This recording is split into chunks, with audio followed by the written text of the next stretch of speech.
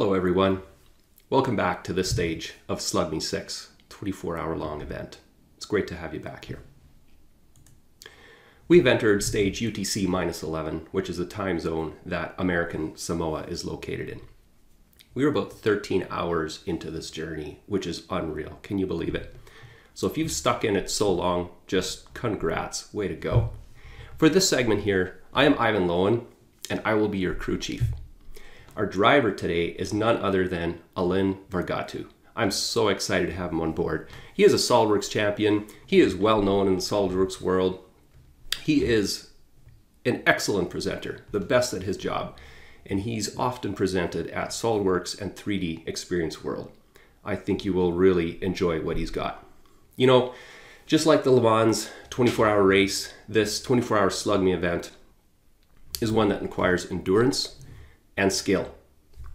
Now, the endurance, do you have what it takes to watch the whole event through? I don't know. We'll just have to wait and see. I've got some coffee here. Oh, yeah, that's good. That's going to help out. As for the skill, we like to find the best drivers, and this is simply the best driver that I could find for this event. I want to give a special welcome to anybody that may be in this time zone watching from American Samoa. And I don't know I don't know anyone personally from there, but if you are located there right now, please enter the YouTube chat and let us know. We'd love to hear from you.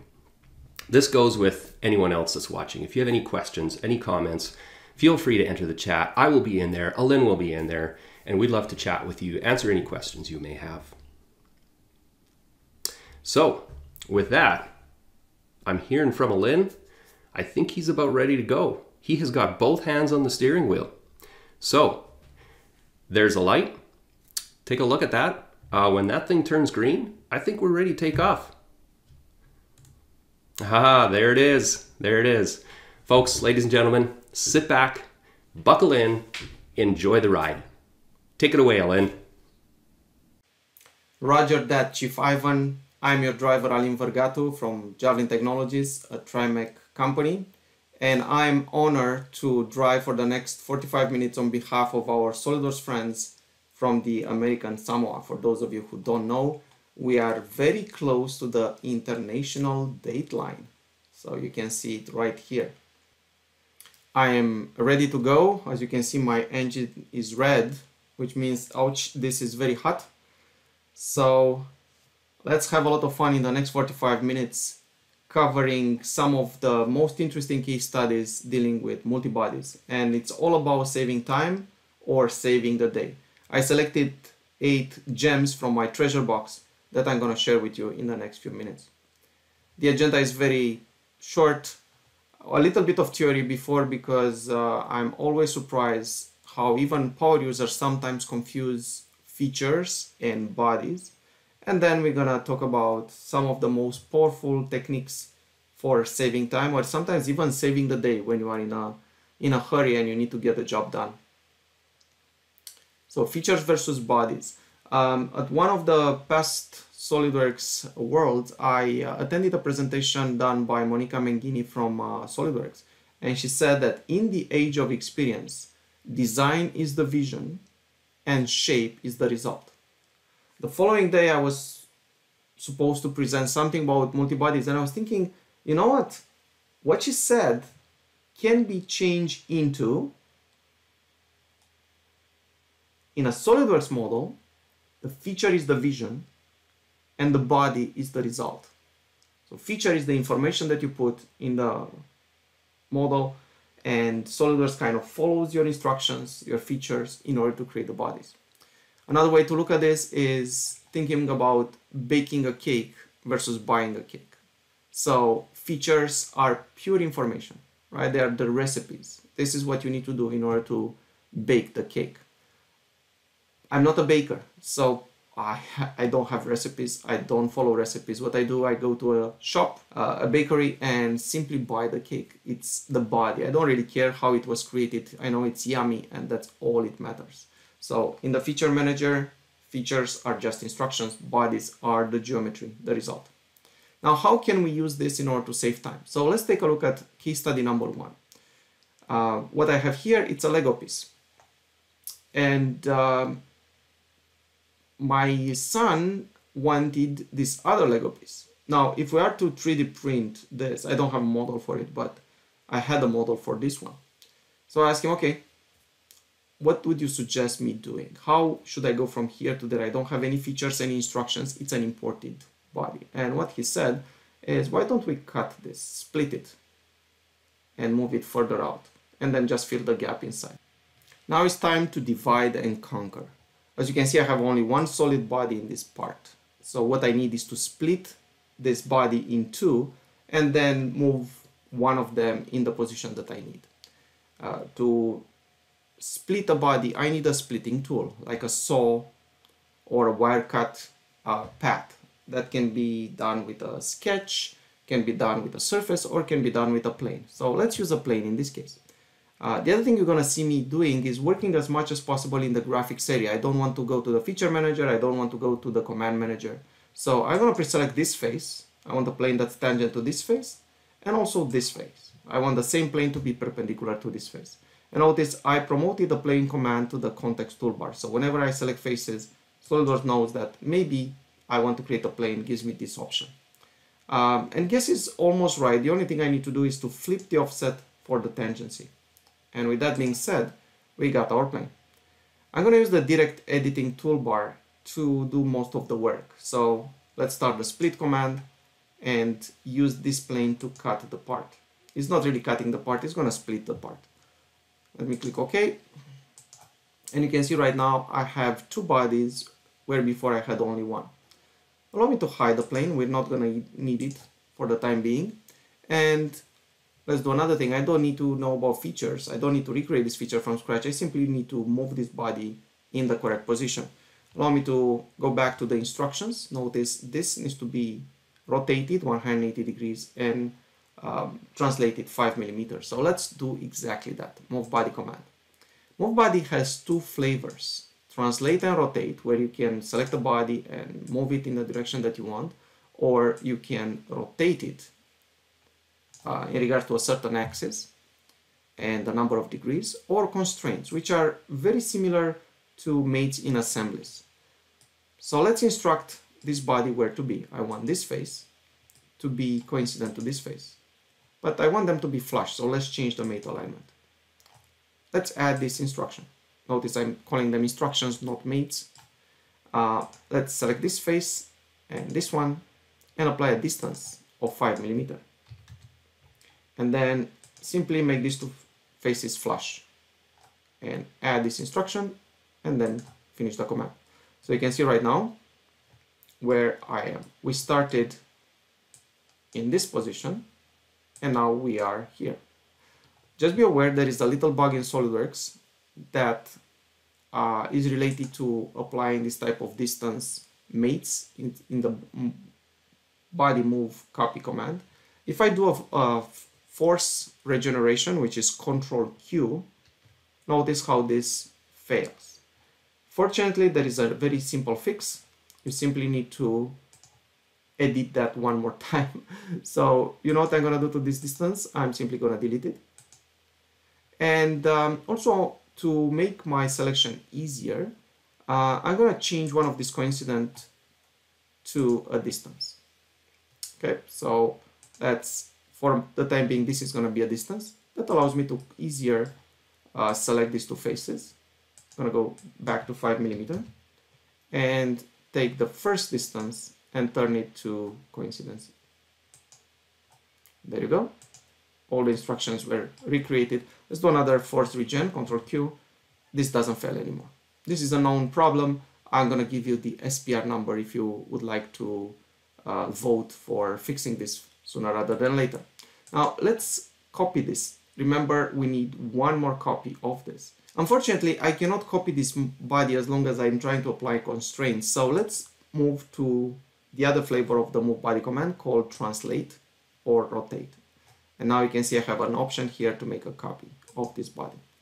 Uh, if I just simply click OK, another body is going to be created on top of the other one. But just to show you what happens, I'm gonna move the copy out of the way so you can see the clone that got created by this.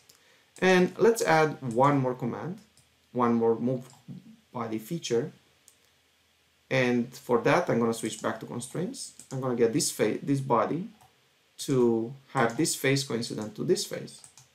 And this face also flush with this face. Allow me to change the alignment and accept this new position. Let's uh, compare what we have on the screen with what my son wanted. It looks like we need to bridge this gap right?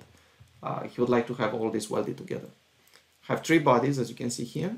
One thing I'm gonna do I'm gonna create a sketch on this face notice that this face is already selected so I can use the shortcut toolbar I use press the S key convert entities, I'm getting my edges, press S again, and extrude. How far away should I go? So let's take a look at, some of the options. Um, probably a good one would be up to body or up to next. Let's go up to next. Uh, also very important is, do I want this new geometry to merge the existing geometry? Whatever gets touched gets merged in, into one body. And you can see here the option to do that, merge result.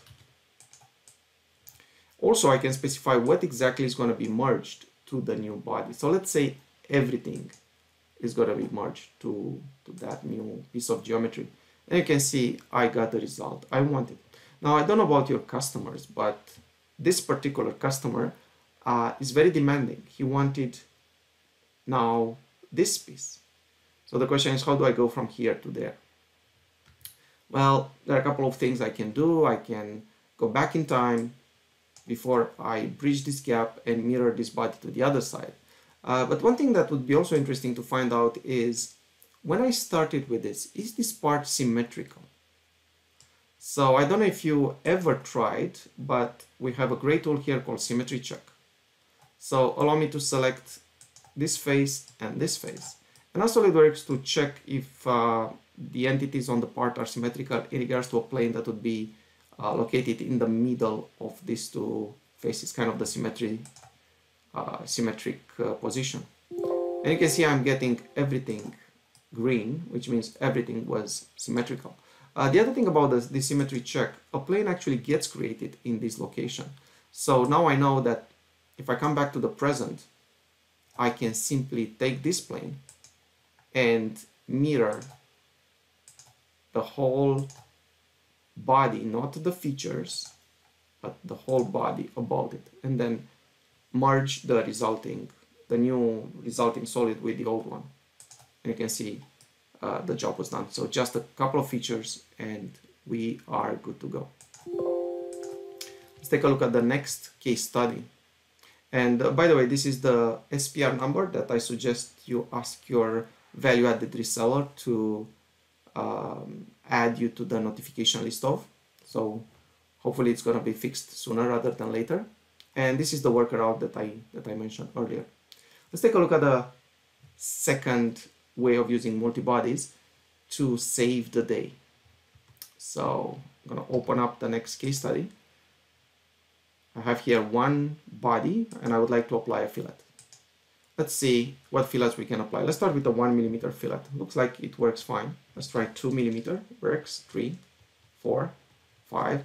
You can see how this geometry over here becomes harder and harder to uh, compute by SolidWorks. Let's go to six and no preview. So if I click OK right now, it cannot apply a six millimeter fillet. So what can we do?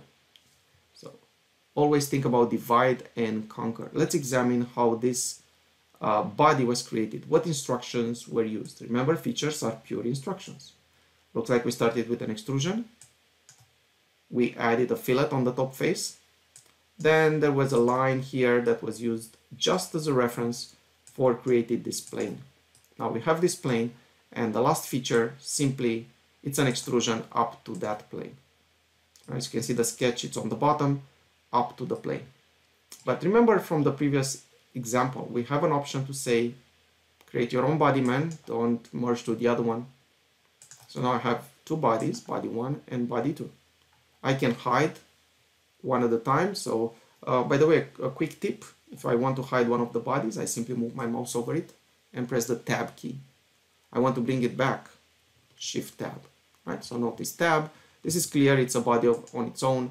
I can very easily add a fillet, six millimeter fillet, and it worked. Now let's bring the other one back, shift tab, so now both of them are visible, uh, but I would have to combine them together. So again, under direct editing, you have the combine command, use the option to add, select the two bodies, add them, and now I have one body instead of two.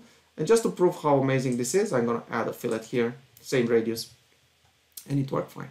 So remember, divide and conquer, it's a valid and very useful technique. Let's talk a little bit about another tool that uh, works with bodies. It's called Intersect and it's fantastic. It can replace many other uh, features. So you can see it can replace all these things and a few more. So let's see how this works. Currently I have here a solid body, is this cylinder. And I have this surface body, looks like a sombrero hat, right? So notice they're independent of each other. And what I would like to do is to fill the space between this part of the sombrero hat and the cylinder and also remove the space that is above the sombrero hat. So any geometry uh, I want to be removed from there. So the tool for that is going to be intersect. I'm going to select both entities. Intersect accepts surfaces, solid bodies, and planes. And is looking for regions that are being created by uh, are completely enclosed in this inside the, the faces and the planes and the surfaces that you selected. So you can see there are three regions, region 1, region 2, and region 3. If you want to remove one of them, or more than one, you can simply select it. And you can see it gets a check mark here. And also at the bottom of the property manager, I have the option to merge the result. So you can see with one, uh, one um, option, I can get the job done. I can do even more with one feature. I can remove uh, the reference surface. So I can use the option consume surfaces. You can see the end result is just a body. Now, this is a simplistic way to use this tool. Uh, let's see if we can find really good use cases for it. And probably one of the best is simply making some money for a bet you can make a bet with uh, your colleagues who might not have attended this presentation saying hey man can you create a solid body without a sketch in SolidWorks starting from scratch and if they say no I say I'm gonna bet you uh, one dollar or whatever currency you want to use that that is possible so let's see how this works uh, let's start with the simple part I'm just gonna make this the major planes visible and uh, let me copy a couple of them. I'm going to use offset command for the planes. So one quick way to do that, you select a plane, hold control, drag it, and you simply create another plane. Let's try to do the same thing for this guy. Control, drag it. And the last one, control, and let's dra drag it down. So what I have right now, it's a space that most likely is completely enclosed by this plane. Um, what's a quick way to select all the planes? You might you might wonder, and it's the same thing that would happen if you hunt with a dog. so I give the dog the scent, and it's gonna find the prey. In this case, I select the plane. I, I press Control A, and selects all the other planes. Okay, so let's run the intersect command with these planes, and you can see a solid body got created at the intersection of those planes. Now, this is a little bit of a gimmick. Let's go to much more serious stuff. A very common use case is you have something that should have a cavity even though it has some openings to the outside and you're wondering what's the volume of that cavity. You need to fill it, right? So let's give it a try. I have here a volute pump and the first thing I need in order to intersect is to seal this gap. So we're going to create some lead, uh, leads. Um, one great tool for that is the planar surface. So if you have planar edges, you can actually select them. Allow me to use the magnifying glass here. I'm going to press the G key to select this edge. And also over here to make sure I'm selecting the, the right edge. Right? So there you go. One feature created three surface bodies. So again, we're talking about bodies. Now, what I want is to create the volume that's completely enclosed in there. So let's run the intersect command. This time, I'm gonna ask those to create internal regions. So I'm gonna select everything and simply fill the volume in size, fill the cavity with something. Let's see what we get. You can see the volume got created. A new body gets created. So if I go into the solid bodies, I can see, okay, that's the one. Let's isolate it so we can see just this specific body. And even more, let's give it a certain material. What would we like to do here? By the way, in SolidWorks 2021, you can even search for a material. I'm going to search for water and I'm going to apply it to this body. So now if I want to calculate uh, what is the mass, what is the volume, no problem, works fine. Okay, so you can see the wonders of the intersect command. Next example, intersect versus combine. So what I have here, I want to create a knife with no cutouts. I don't want to use a cut feature, extrude cut. I don't want to use extrude revolve, um, revolve cuts. I don't want to do anything. I simply want to take existing bodies and use them to modify other bodies. When I finish with it, the part is going to look like this. It's a multi-body part. Right, so you can see here I have the blade. I have for each, uh, the handle is in two halves and I have three pins. Uh, one thing that's important about the pins is to be shaped in such a way that they match the complex shape of the, of the handle. Now, in the past, I did that with uh, combine commands, and you can see it's, it's pretty complicated. Um, allow me to suppress all this and let's do it again. Let me isolate them one at a time. So you can notice this is the blade, this is the handle, and it doesn't have holes. It's one body, and these are pure cylinders. Let's start with shaping the pins. So you might think maybe you can run combine using the common option. Select the handle, select one of the pins, and you can see how SolidWorks maintains only the volume that was common. Uh, this way you get the end faces to be the shape that you want. Uh, the problem with this is that both bodies get consumed by the combined common operation, so that would not be acceptable yet. Uh, what we need to do is to clone the handle three times. So let's go to the copy bodies command, increase the number of copies to three, select the handle, and click OK. So the, right now I have two clones, three clones of the handle. Let's run the combine command, this time with common, select also the pin, and let's click OK. See what happens. You can see how one of the copies of the handle get consumed along to the old, with the old pin, and I'm getting uh, the shape that I wanted. Let's do it again. Common between this and this.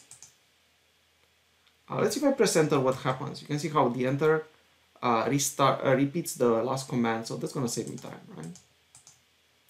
And the job is done. We have the handle and we have three pins.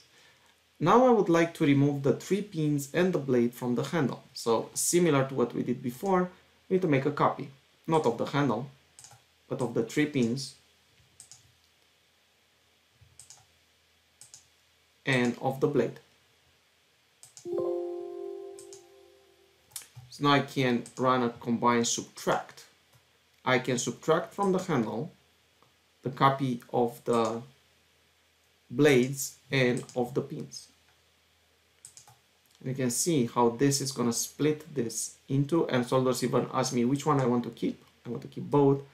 Um, if I'm isolating these two handles, you can see that they are done.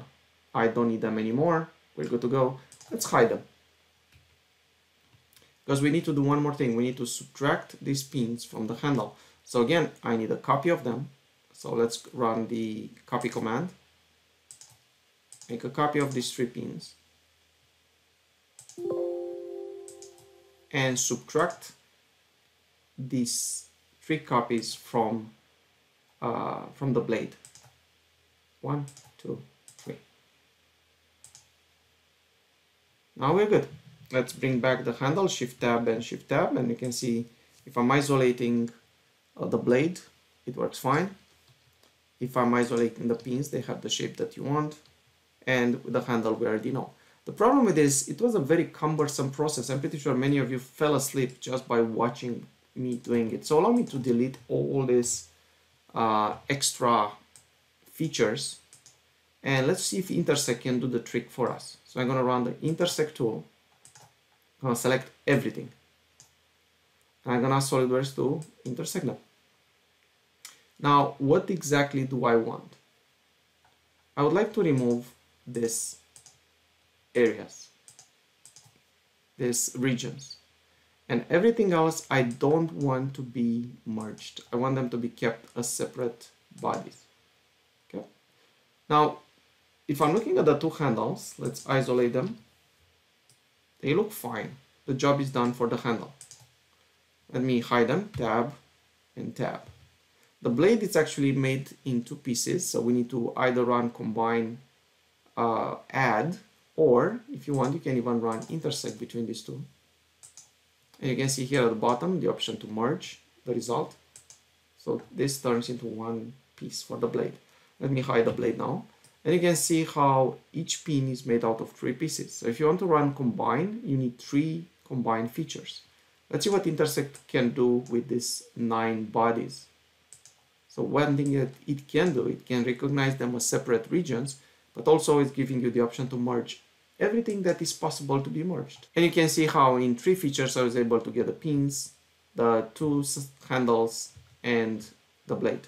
So intersect save us a lot of time. Let's take a look at the next example.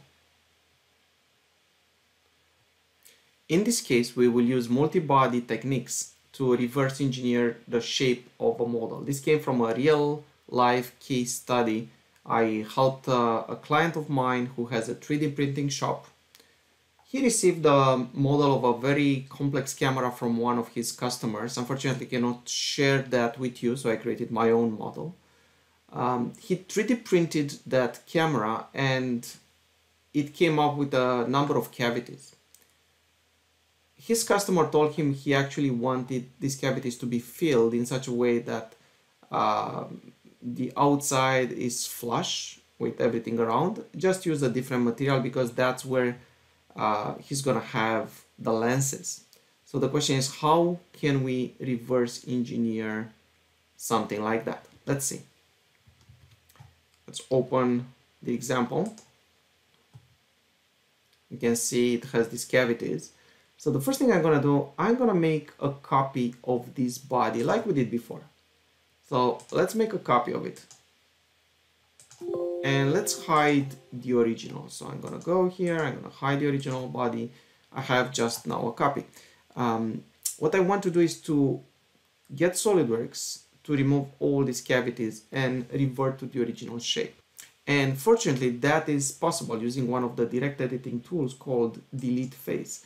Delete Face has three flavors. The one I'm going to use is called Delete and Patch. And you can save a lot of time selecting the faces you want to delete by simply selecting one and then using the context toolbar to select, in this case, all surrounded faces. You can see I can go click and click and I'm selecting tens of faces with just a couple of clicks. What delete and patch does is not just removing these faces, but also uh, healing, if you want, the uh, their neighbors, the surfaces around, back to their original shape. Let's see the result. And you can see it worked fine. Let's bring back the original body. And you can see I have two bodies, one on top of each other. And you, can, you probably can guess what I'm going to do next. I'm going to run the intersect command between these two bodies and I'm gonna ask SolidWorks to not merge the results. So now every region is gonna create its own body. You can see this is the original, allow me to isolate it. Now let's go and hide it. And you can see I'm getting the, the lenses. Just apply a different material and the job is done. So a nice way to, to save the day. When my son was one day old, I get to use this device and one of the things I was wondering is how can I measure the volume that can go inside it and also how much milk or how high the milk is gonna raise if I want to pour a certain volume. Let's find out.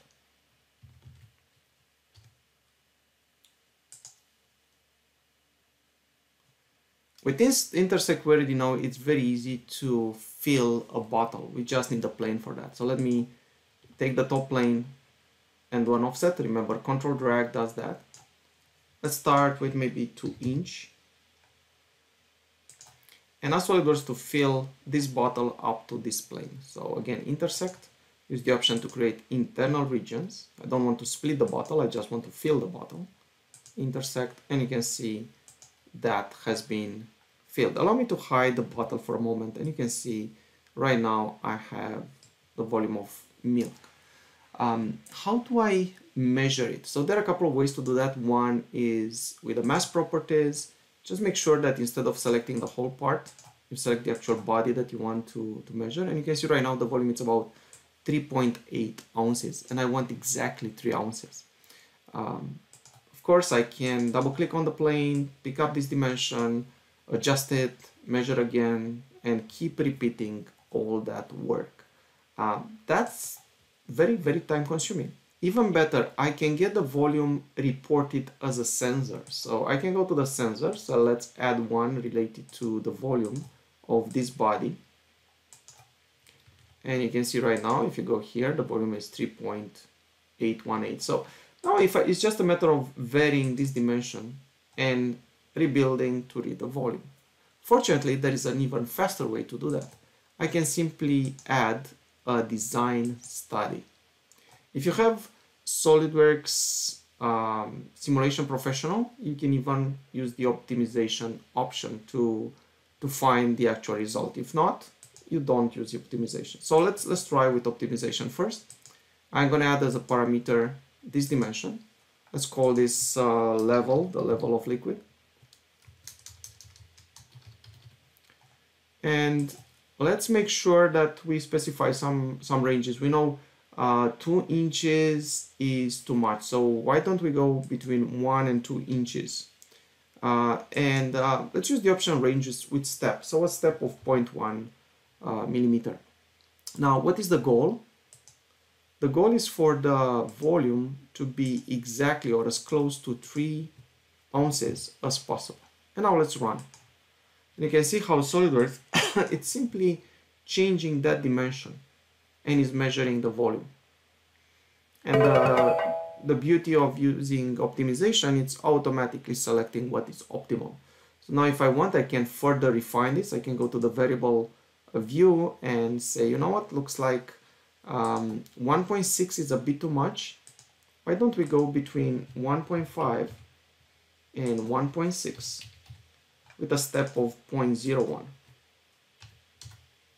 Let's run this again. And hopefully it's gonna find something that's even closer to 3 ounces. Looks like at 1.59 I'm getting exactly, uh, I'm inside two decimal points.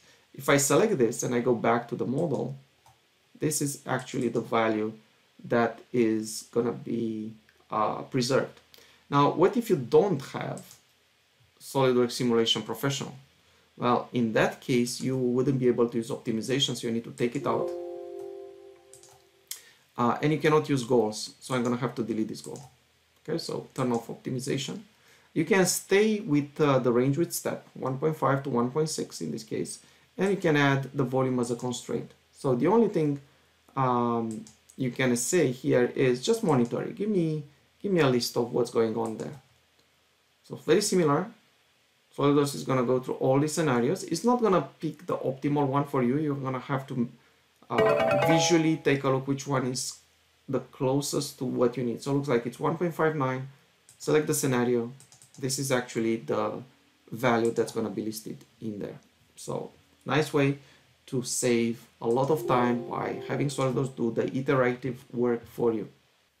So far we ran the intersect tool inside parts. What about assemblies? In this case I have an intake manifold and I'm curious how much gas, how much air uh, it contains. So let's find out.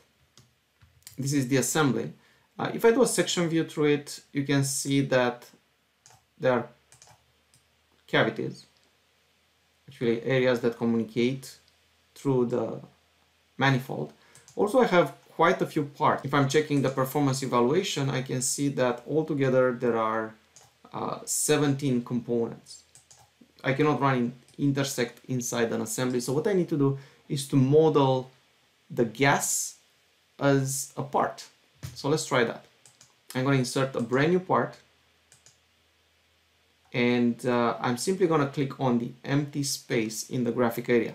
That ensures that the new part I created is placed in the origin of the assembly. So notice the origin of this new part and the origin of the assembly as are the same. Same thing about their planes, like front plane and front plane, right plane, right plane, top plane, top plane are going to be one on top of each other. Also, the new part is fixed.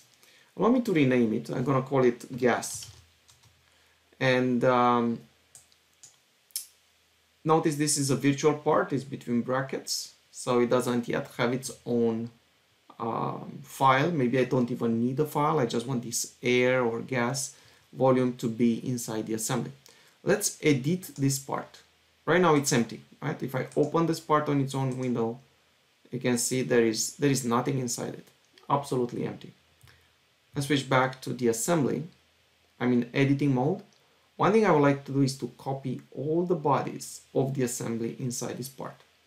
So that can be done with a feature that is available only when you edit a part inside the assembly. That feature is called join. You can also search for it instead of just going through the menus. So allow me to select everything. One the interesting thing about the join command, it can even merge the bodies of the parts you selected together inside that new part that I created. So let me click OK. Now let's see the result. If I open again the so-called gas part and I do a rebuild, you can see how everything that was in the assembly, geometry, all the geometry of the assembly got copied in here. This is also another, has another major advantage. If the parts inside the assembly will change later on, this will update. You can see here, it has external references. So if I'm doing sections here, you can see again the cavities. Right, so nothing different than what I had before. What I want are actually is the space inside the cavity to be represented as a model, not everything else. So let's prepare our uh, model to accept the intersect tool. Let's start with applying a, a plane here. Of course, I can use the planar surfaces like we did before. So let's start, simply put a zero millimeter, I think we are in millimeter displacement. Let's apply another plane right at the bottom. So instead of applying multiple planar surfaces, simply I'm gonna go and create another zero millimeter offset plane from there. So there are two planes and one solid body. Time to run the intersect command. Plane one, plane two, solid body. This time, I'm gonna ask SolidWorks to create all the regions. I don't necessarily want just the inside because I want to automatically delete everything else. So which one do I need to keep? Notice I have altogether eight different regions. Well, I know this is the one I want to keep, so let me to simply click on it just to see which one is selected. It looks like is region one. And then let's use the invert selection option to mention that I want to preserve this and get rid of everything else. So invert selection and simply click OK. You can see this is the volume that I require there. Uh, one thing that would be probably a good idea is to apply a material. So let's apply maybe air as the material.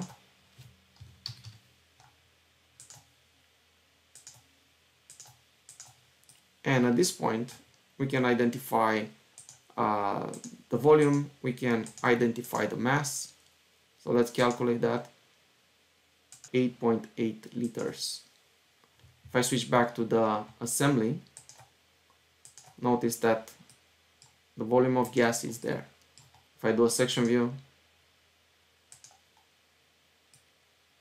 and I click here, this belongs to the gas. So it worked fine. It worked.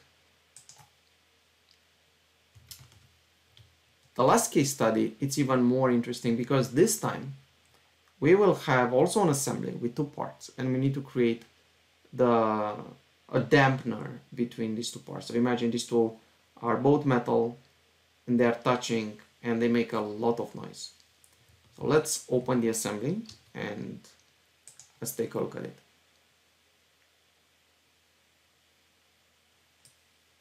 Part one is the yellow one. You can see how it looks like. Part two is the red one. There is a problem though. If I'm trying to use the same technique that I used in the previous case study, notice there is an opening, there is a gap between the two parts. So you wouldn't be able to run intersect if you have this gap. The material is simply going to flow through there. It's going to go out. So the technique is going to be, again, divide and conquer in two steps. Let's insert a new part in this assembly that's going to be the dampener. So very similar to what we did before, insert a new part, and I'm going to put it in the origin of the assembly. Let's call this exactly that, dampener.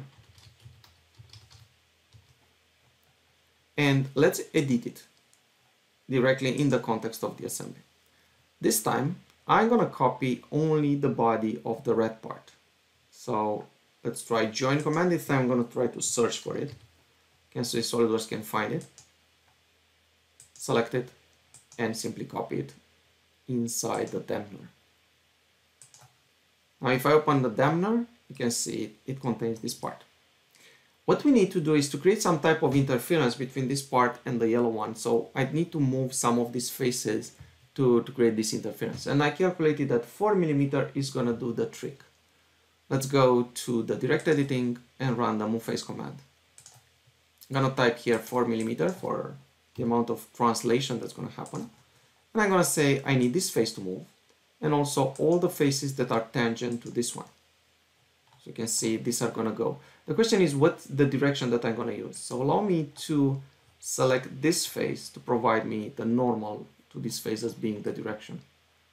Um, also, I need to go and uh, add these faces. So this one, and also the ones that are tangent to this. Yep, so you can see the result in the end.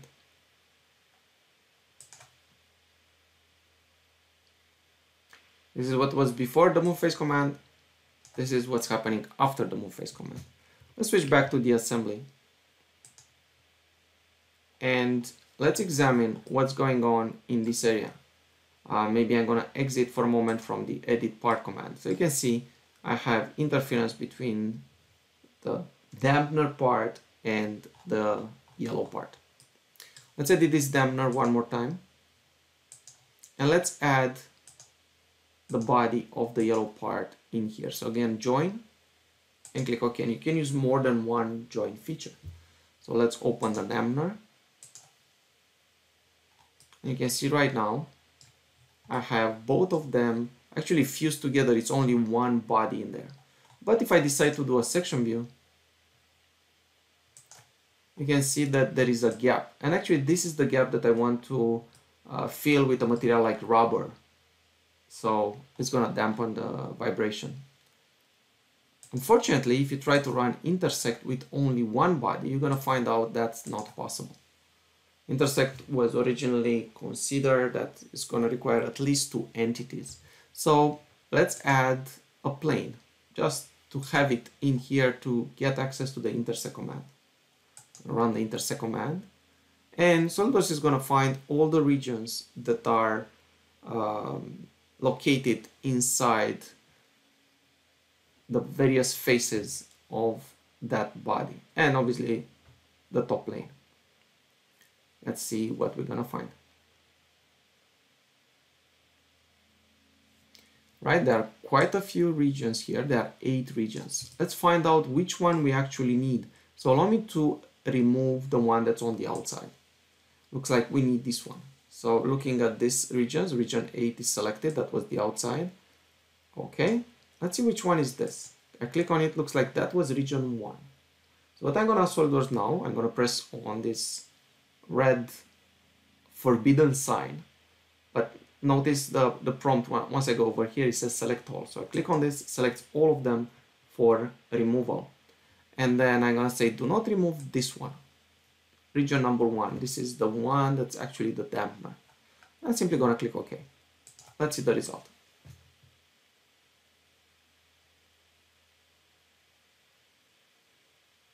Pretty complex operation, but SolidWorks will be able to complete it successfully.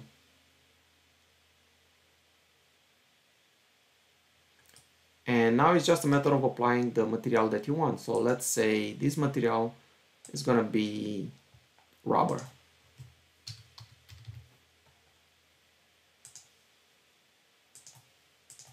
Now we have the, the actual properties, we have the volume, we have the mass, we have everything we want. And let's get back to the assembly. And let's hide for a second the red part. And you can see this is the rubber that fits perfectly between the two of them. Now, mostly, most likely we're gonna need some type of a scaling up for it to uh, be just perfect. And this is the last turn in, in the race. I think I can see the pit stop and if I'm not mistaken, I can see also Ivan. I uh, just want to leave you with one more uh, valuable piece of information. Free training you can get by simply going to the Javelin blog. Every day we write quite a few new tech tips and also we have quite a lot of free training videos on the Javelin YouTube channel. So thank you very much for your time. And Ivan, back to you. Hey, hello again. Welcome back. Wow, what a drive we just witnessed. Alin, thank you so much. Thank you so much for the expert job you did in, in, in taking us through that drive. I learned a lot of things. I'm sure you did too.